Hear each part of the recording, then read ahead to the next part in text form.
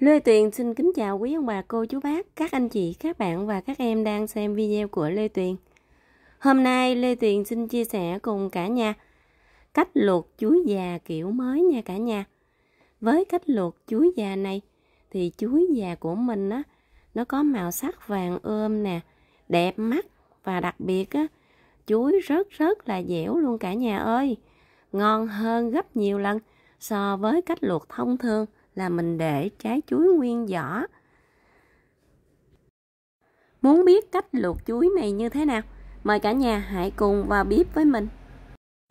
Đầu tiên mình chuẩn bị nửa thao nước. Ở đây mình có một trái chanh. Mình sẽ vắt hết trái chanh này vào trong thao nước. Mình có một nải chuối già. Bây giờ mình sẽ dùng một con dao nhỏ. Mình cắt trái chuối ra.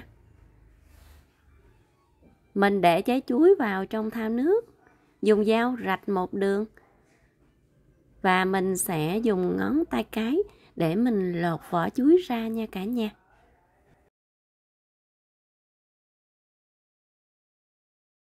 Mình vắt chanh vào trong thao nước là để cho chuối của mình sau khi lột xong, chuối sẽ được trắng và không bị đen. Chuối lột vỏ xong thì bây giờ mình sẽ dùng con dao để mà mình gọt lại trái chuối của mình cho đẹp nha cả nhà.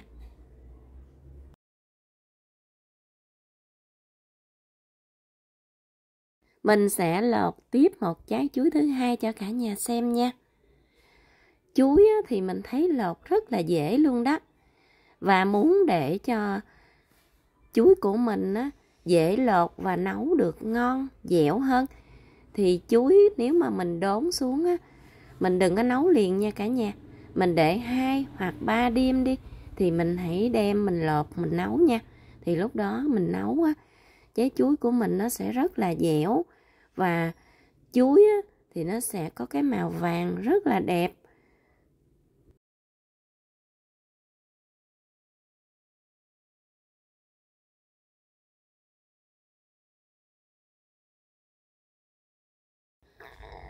Mình đã lột xong nải chuối của mình rồi. Bây giờ mình sẽ rửa chuối với nước chanh và mình sẽ cho qua một thao nước sạch mình đã chuẩn bị sẵn.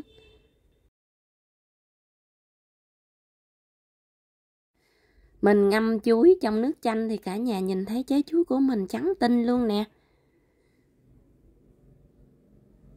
Bây giờ thì mình sẽ rửa lại chuối một lần nữa với nước sạch và mình sẽ cho chuối vào nồi.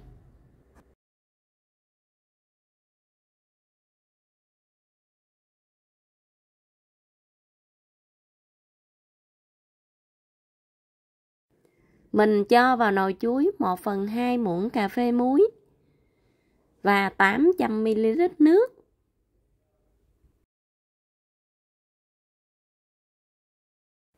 Đậy nắp lại và mình bắt lên bếp để mình nấu nha cả nhà. Đầu tiên mình sẽ nấu với lửa lớn. Khi nồi chuối sôi thì mình sẽ giảm lửa lại.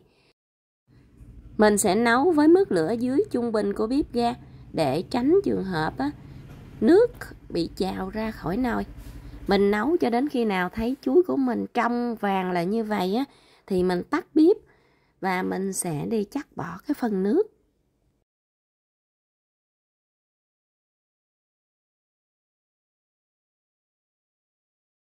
Sau khi chắc bỏ hết nước, mình bắt lại lên bếp. Mình sẽ bật bếp ga lại và mình sẽ nấu chuối với mức lửa nhỏ nhất của bếp ga trong vòng 1 phút. Khi chuối đã hoàn toàn khô ráo thì mình nhắc xuống và đợi chuối nguội. Bây giờ thì nồi chuối của mình đã nguội rồi. Cả nhà nhìn thấy trái chuối của mình màu sắc vàng ươm, đẹp mắt lắm luôn cả nhà ơi. Mình sẽ cho chuối của mình ra dĩa nha.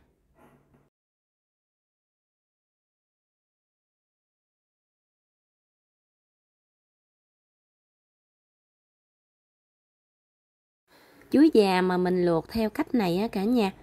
Trái chuối vừa đẹp vừa dẻo ăn rất là ngon luôn đó cả nhà. Mình sẽ dùng một con dao mình cắt chuối ra cho cả nhà xem nha. Cả nhà nhìn nè chuối rất rất là dẻo luôn. Ruột chuối á, thì vàng ôm luôn đó.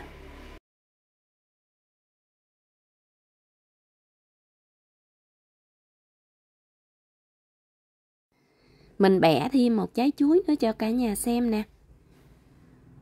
Rất là ngon luôn cả nhà ha. Chuối già thì người miền Tây mình á, hay ăn với đường cát hoặc là muối ớt. Ở đây mình có một chén đường và một chén muối ớt Tây Ninh. Mình sẽ ăn chuối theo sở thích của mình thôi. Sở thích của mình thì mình thích ăn với muối ớt hơn đó cả nhà. Nếu cả nhà chưa từng luộc chuối già theo cách này, thì cả nhà hãy thử làm một lần nha. Đảm bảo cả nhà sẽ rất là thích luôn đó. Đến đây mình xin kết thúc video mình tại đây nha cả nhà. Hẹn gặp lại cả nhà vào những video tiếp theo. Bye!